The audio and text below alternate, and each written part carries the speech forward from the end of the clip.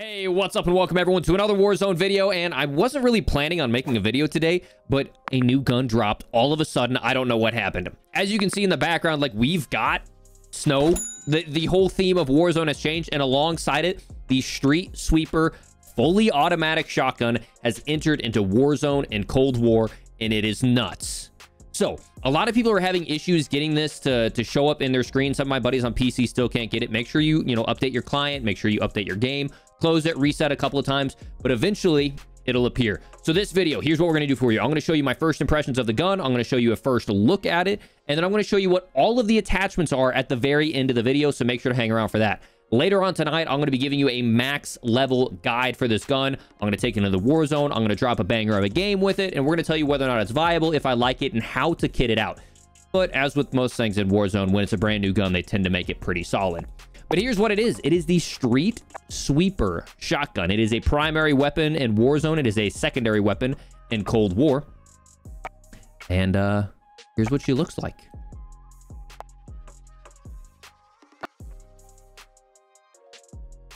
A very rustic, nothing fancy about it. Drum mag, fully automatic shotgun.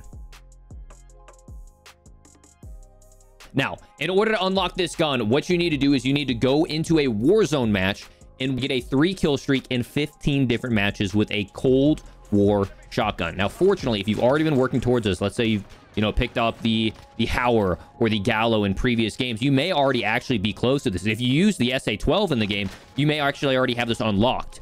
Because it, when I first got this, it said I was already uh, like 7 out of 15 complete, so it tracks your progress. The best way to do it, you're going to see what I'm doing in the background, is I'm just going into Superstore in Plunder, and as soon as I get a 3 kill streak, I just back out and restart the next lobby. I really wouldn't suggest going into Alcatraz or into the main game because, frankly, it's going to take a long time to get your loadout. And then if you don't get a three kill streak and you're trying to force it, then you're just going to get frustrated. Run into Plunder. Fair warning, a lot of other people are doing it. So maybe pop some Dead Silence or pop a, you know, some stopping power. But it's going to be a little bit of a grind tonight because everybody is going to be running shotguns. But that's how you unlock it. I'm going to jump over right now and show you my first impressions of when I unlock this gun, and then also show you my first impressions of getting kills in Warzone with it. Then finally, we're going to wrap up with all of the attachments and kind of getting through how the attachments affect the gun specifically. All right, ladies and gentlemen, so here we are dropping in for our very first time, taking a look at the Streetsweeper shotgun. I haven't shot it, haven't looked at it, but here it is. Streetsweeper 12 gauge. It comes stock with a 12 round mag. As you can see in the thumbnail. This is what she looks like. Not the prettiest thing in the world. It's just like a giant hunk of iron.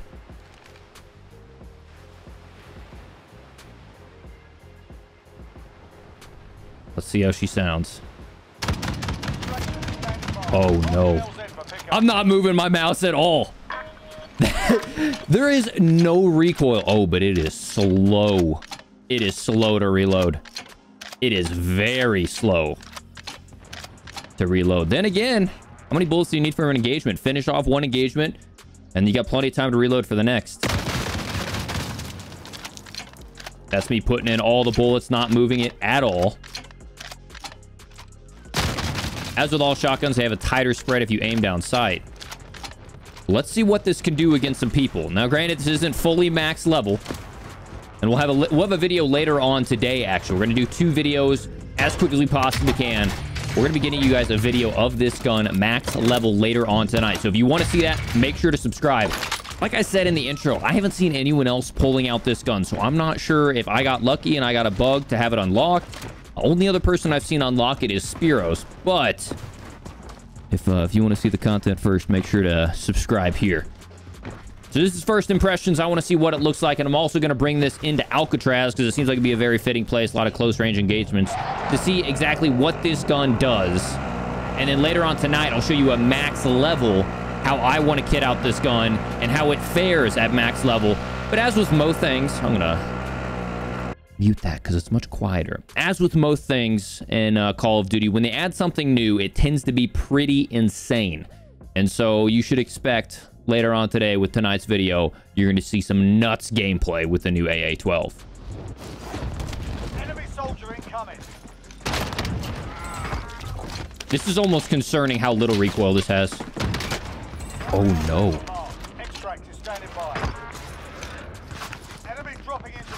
Oh, no. Throw a choke on this. And this could be dangerous.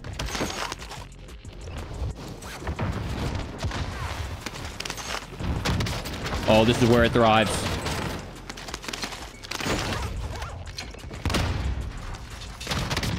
Oh, no way. I only get three bullets?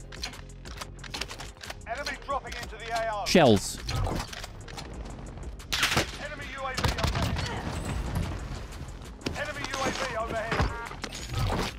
Keep in mind, this doesn't have the choke. This doesn't have the extended barrel. Chad, this is straight out of the factory, and it's kind of nasty. I say Chad, I mean YouTube. I'm so used to streaming. You should probably follow me over on Twitch if you're not already. Let me hit it with some stopping power rounds. Hit it with a quick.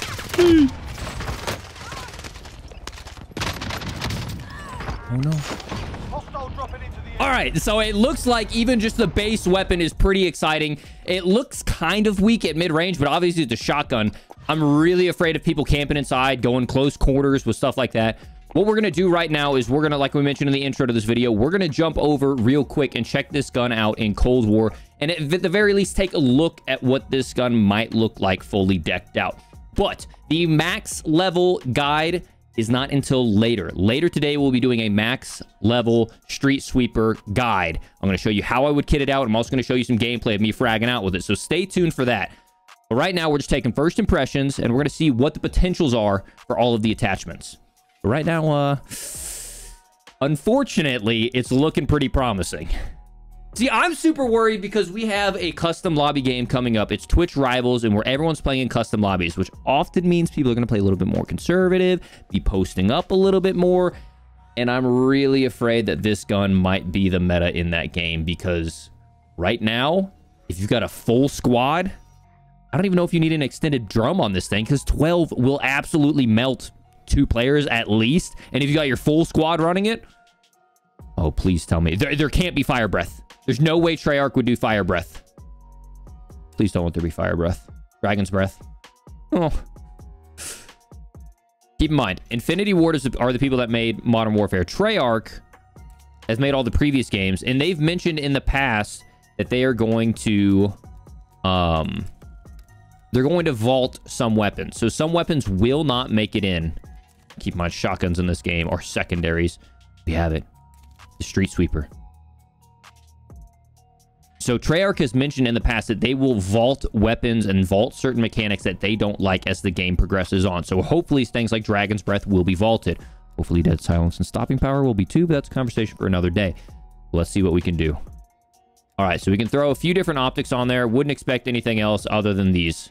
You know, just a couple couple red dots. Muzzle. A choke to make a wider spread. We don't want that. Muzzle flash concealment. Don't care. Muzzle flash concealment but it hurts the damage range. Keep in mind, this can all be different as it's imported into Warzone. Stats for Warzone are different than they are in Cold War. So that likely would give us increased range as it does. Once again, another increased ADS spread. Wow, a 50% muzzle flash concealment.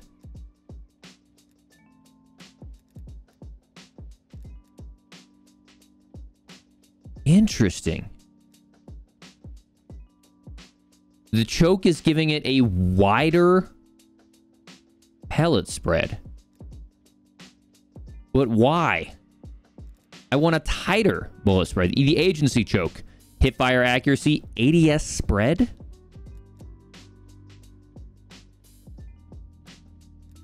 What is happening here? What is happening here? All right, we're gonna have to we're gonna have to jump in here and, and look at this together and see what exactly if our if our spread is being narrowed, or maybe it, it could be in here. It could be in here. So we have increased damage range as we'd expect. Vehicle damage, not really caring about that. Damage range and fire rate. Effective damage range, fire rate, and then just straight up 72% damage. Now, keep in mind, these don't translate 100% to Warzone. Increased damage for here does not necessarily transfer over to increased damage from Warzone. We're going to have to test all those numbers. These ones are all pretty standard. Hipfire accuracy, reveal distance, uh, reveal distance, hipfire accuracy, reveal distance, hipfire accuracy. Yeah, that's all. We've all seen those. a 15 round as opposed to a 12 round, but at the cost of slower reload. And then a 18 round, once again, at the cost of reload quickness. I wonder if in Warzone that would affect your movement speed as well. But there is not a fast mag, and there are no like faster reload perks like there are in Warzone. So I'm this gun might actually be hindered a little bit. Speed tape is aim down sight time. Flinch resistance, aim while going prone. Doesn't matter in Warzone. Flinch resistance, aim down sight time and flinch resistance. Faster aim down sight time, aim down sight, flinch resistance. I'm curious about stock. Is there a no stock? There is. Faster walk moving speeds, faster sprint to fire speed, faster slide speed. 40% faster sprint to fire time. That's huge because shotguns and Warzone have a terrible sprint to fire time. So this is almost going to be a guaranteed. Shooting moving speed, aim walking speed, and then shoot move speed, sprint fire time, aim walking speed, shooting moving speed. But that's going to cost us hip fire accuracy, which we don't want to sacrifice our spread. So I wonder, and we'll have to we'll have to jump in and just kind of get get a first impression and see if hip fire accuracy. See, no stock affects hipfire accuracy. So I'm wondering if hipfire accuracy will affect our choke or not, because let's see what these do. Let's see what these do. A wider bullet spread, and this is a plus 40% ADS spread. So it's different verbiage, and I'm wondering if that means that one actually genuinely widens it, and the other one makes it tighter. So we'll do all three real quick, just for the YouTube. Secondary. And then this one will go all the way to agency choke. Okay, so for this, by the way, got to whip out the controller for this one. Been playing uh, too much comp on Cold War.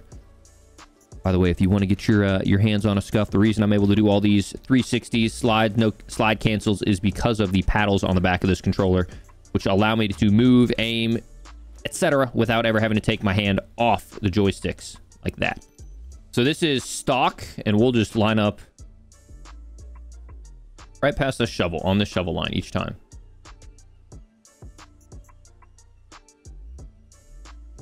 We'll do hip fire up here. And aim down sight here. So as with all Call of Duties, your hip fire is much tighter whenever you aim down sight. And the hip fire is a little bit wider, but I'm not really worried. You know, okay, that's what we know for like our base.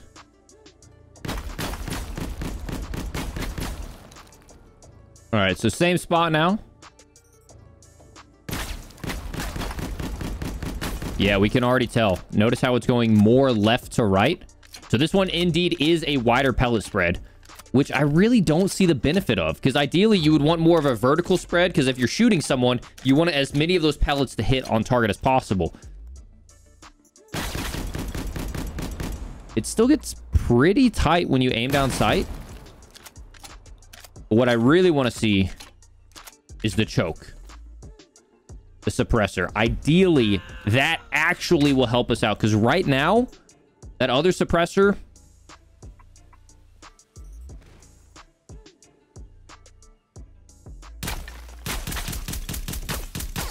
I think that's what we're looking for. I feel like that's much tighter than the very first one we pulled out. Yes, indeed it is.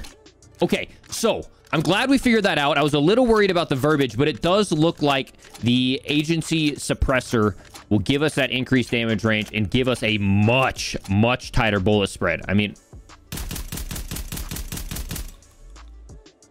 with a little bit of aim assist, that's to fry.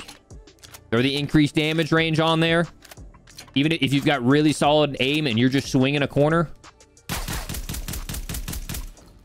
That's a really tight spread. Okay, so Agency Suppressor is the way to go. We're going to talk about that later tonight in our max level sweet streetsweeper video. But that wraps it up for now. We've got our first impressions. The gun looks pretty dang solid. Uh, and I'm excited to see what it can do once it's fully max level. I'll get that content out for you later tonight. But uh, kind of nice to, to get your hands on a new weapon. We've had so much new content coming to Call of Duty. And uh, I'm glad to have this one join the ranks. At least for YouTube content. If it plagues my gameplay, then uh, then, well, you'll see that over on Twitch. So make sure to follow me on Twitch. Links in the description. Ladies and gentlemen, hope you enjoyed today's video. If you want to catch all of the gameplay live, make sure to follow me over on YouTube. Or if you want to catch all of your news, make sure to subscribe on YouTube. If you want to catch me live, make sure to follow me over on Twitch, where I can uh, screw up these outros live. So I'll see you over there. Peace.